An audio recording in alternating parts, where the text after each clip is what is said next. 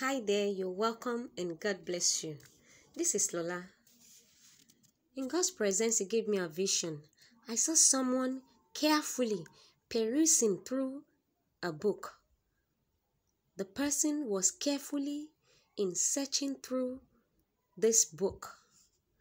And the word of the Lord came to my mind in Matthew chapter 7, from verse 20. It says, These words I speak to you are not incidental additions to your life, they are foundational words, words to build a life on.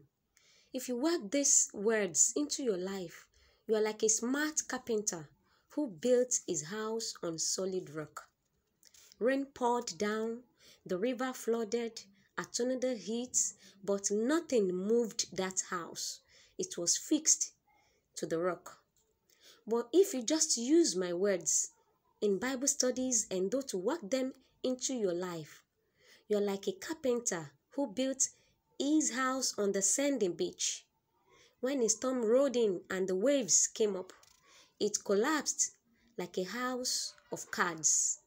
Beloved, the Lord sees your desire to please Him. He sees your doggedness to know Him through His Word.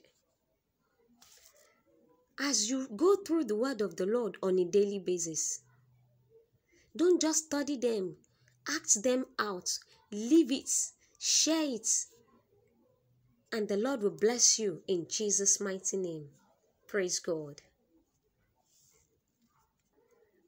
Peace and love of God. Shalom.